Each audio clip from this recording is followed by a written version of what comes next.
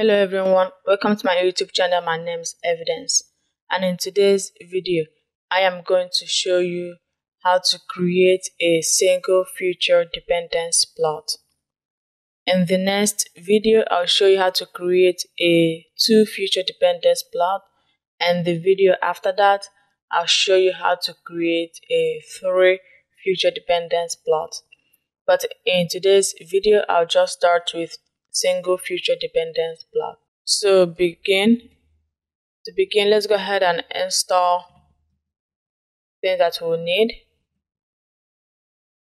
And this exclamation mark basically says to do shell command inside a notebook. I'm gonna hit shift enter to execute the cell. And while this is running, I'll quickly go over what is partial dependence plot. So this right here is kind of like the best way I have found to explain it. PD plot or PDP, partial dependence plot, shows the marginal effect one or two features have on the predicted outcome of a machine learning model. A partial dependence plot can show whether the relationship between the target and a feature is linear, monotonic, or more complex. And when you apply PDP to a linear regression model, it almost always shows a linear relationship. So basically, in a nutshell, PDP plots show how dependent or like kind of show the relationship between a target and a feature. So this is done installing. Actually, wanted to do capture Capture basically stops this. If I run this next time, all of this won't print out. So now that we've done that, let's go ahead and import some things. So from pdp box.pdp, import pdp isolate. Alright, let's just go ahead and import all of this. And I've already cleaned the data, so I have my xtrain dot head and this is a life expectancy data. And basically the target in this data set is the life expectancy. And as you can see right here, we have categorical variable in the status column. So we need to encode this categorical variable into integers and everything else is integers. All right and I also have my S test data set. So I've already gone ahead and do the data cleaning, the data preparation, and then split my data into X-train and S test. So with that being said, let's go ahead and get started. So first of all, let's go ahead and build our model.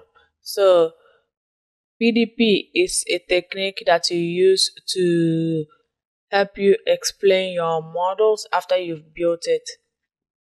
So begin by building a model. So build random forest model.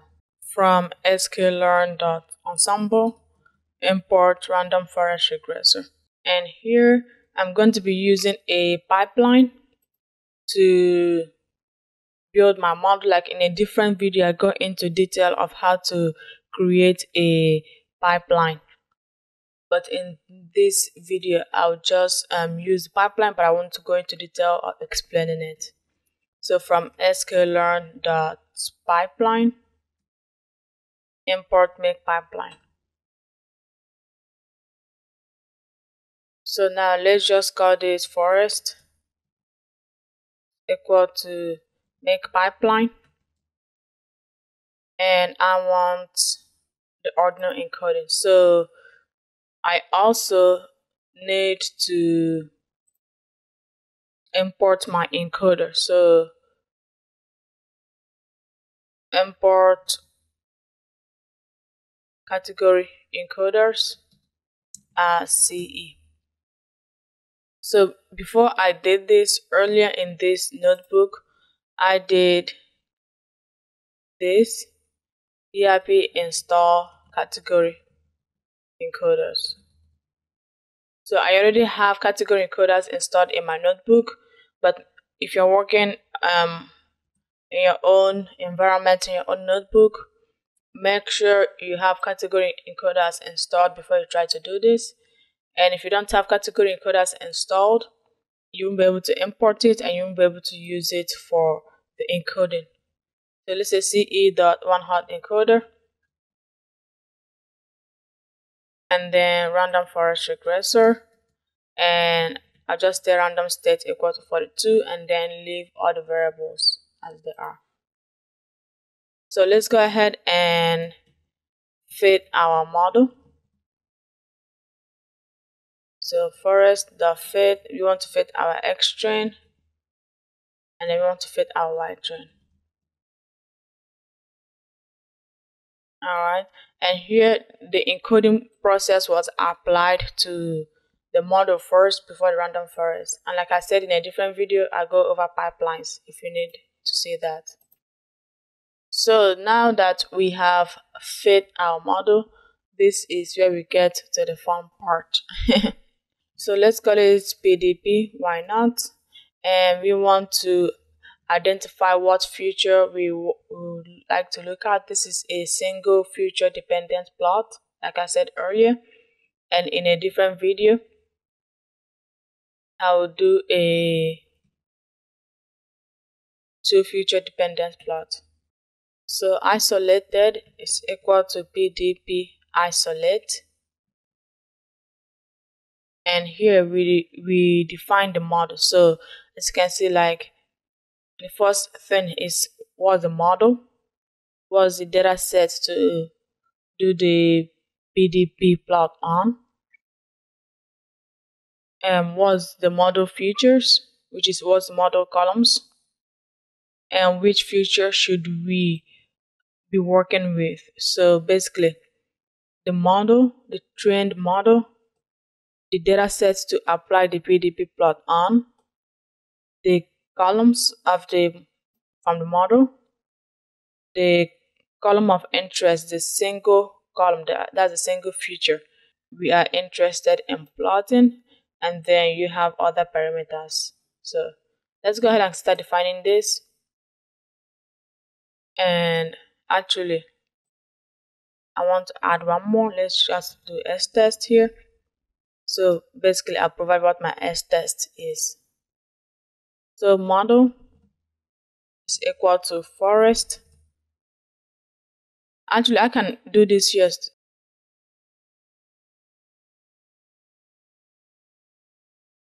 That's the thing about the function. You can add as many variables as possible. So I want my model to be model because I'm kind of building this in a way that I could like easily import it and use it somewhere else. So the model is model um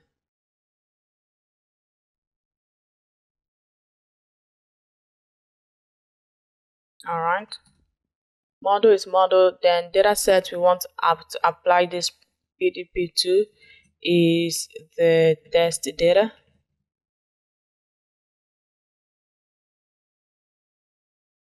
The model features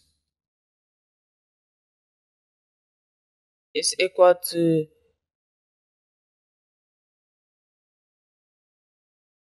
test data dot columns. And then the feature we want to be working with is equal to uh, feature.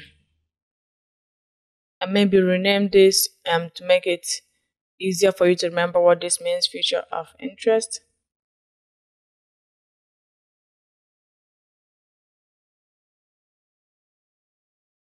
And I may delete this but I'm just gonna leave it there for now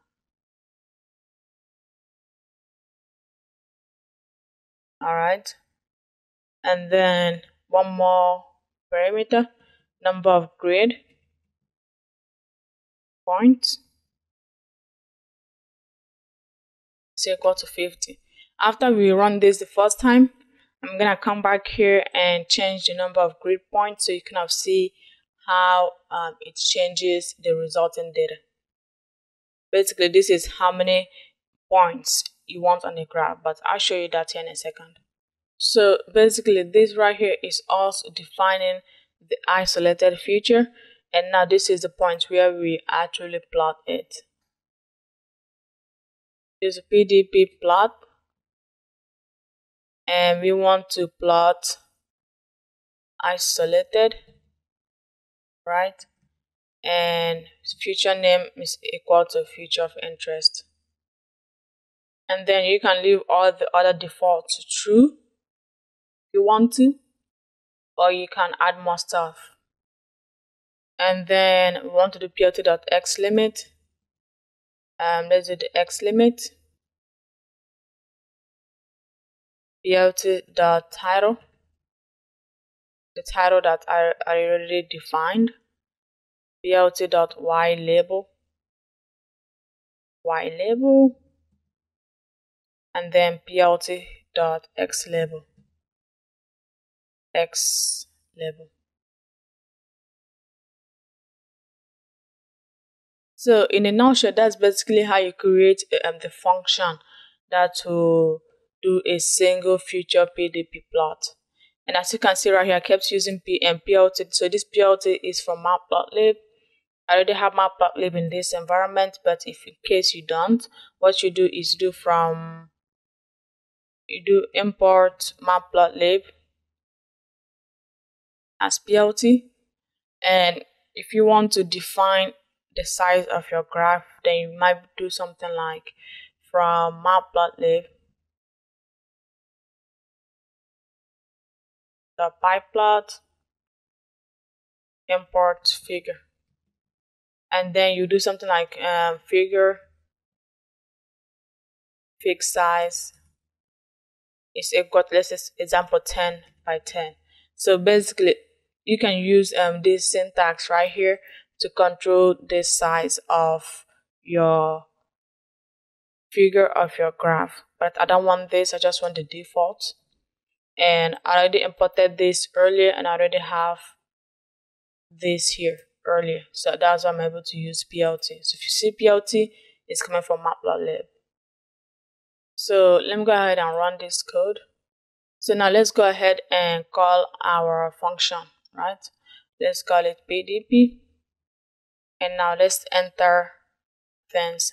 So let's say we are interested in the HIV AIDS column. So if I go ahead here and do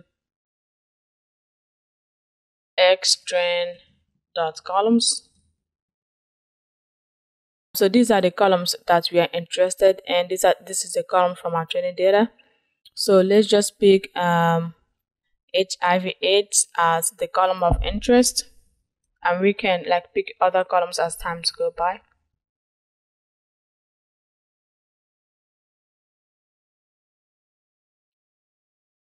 And then this data is going to be our S test our model is gonna be forest. And then we want to provide the title title. And then and y label. And then x label. So that's that's basically let's go ahead and run this. So basically this is our single feature dependence plot of life expectancy and hiv aids and this is what I mean by points. These circles are points. And let's just go ahead and change it to 100 so you can get an idea of what I mean. As you can see, now that we've changed it to 100, there's more of these points on here. But um, basically, what this graph is kind of showing, kind of like a well it kind of like decrease decrease decrease decrease right? Kind of levels off a little bit here but then sharp decrease and then decrease and then levels off. So the life expectancy is dramatically decreased by let's say eight years or nine years about eight years here. If uh the death by thousand per a thousand people is between 0 and 2 and then it shows us like the life expectancy is even decreased so basically if like the life if like there's 10 death per a thousand people then the life expectancy even decreases more by negative 15. So this is showing like a decrease in life expectancy as um, the number of deaths per thousand people increases. And we can also try out another feature with our single feature dependence plot. So if I go ahead and copy this and put it down here and let's change this to schooling maybe.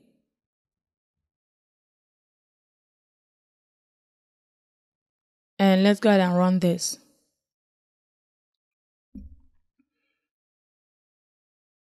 And as you can see right here, this kind of cuts off, but I can fix that. Let's go ahead and change our X limit.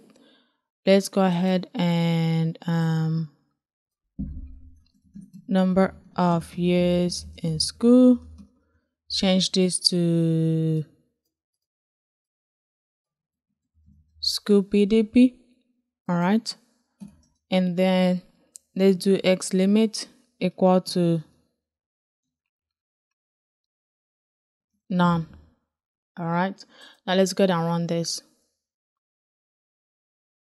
All right. And we have too many points on this kind of makes it a bit difficult to see. So I'll go back here and change this to 50. Run this. Go back down and run this. All right. So this looks a lot better now. If the number of schooling that the person have you know the, if like the average number of years in school is between 0 and 9 there's actually a decrease in life expectancy but once the number of years spent in school gets to about 9.5 slash 10 all the way to 17.5 years spent in school. It kind of shows like an increase in life expectancy. And then if the number of years spent in school continues from there like if the number of years spent in school is 17.5 and above then just doesn't have that much impact or that much difference in the life expectancy kind of like levels of it becomes monotonic so we here we have a decrease in life expectancy, increase in life expectancy, and then a monotonic relationship it kind of levels off. So you can kind of use PDP plot kind of visualize relationships between your target feature and a feature of interest. In a nutshell, that is how you do a single feature dependence plot. And I'm gonna take this right here and, and I'm also going to add it um, here so that when you get access to this notebook, you'll be able to read it yourself and learn more about single feature dependence plots or just dependence plots in general. And you can get this notebook by going to machinelearningeducation.com. This is where I have all my free data science resources. So if you click on this, it will take you to this page and this is machinelearningeducation.com slash free and this is where I have all my free data science resources.